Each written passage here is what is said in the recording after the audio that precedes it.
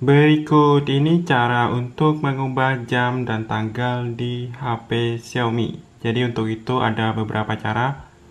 Pertama dari sini, ini kan ada tarik dari sudut kanan atas ke bawah. Ini kan ada jam dan tanggal, kalian ketuk saja.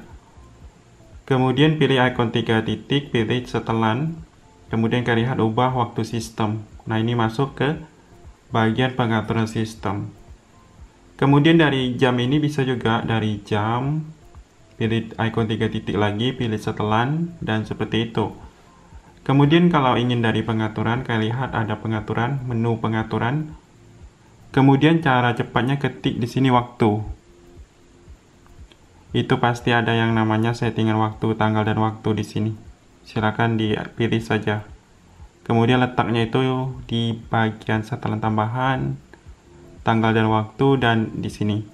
Kalau ingin mengubah secara manual, matikan yang gunakan waktu yang disediakan jaringan.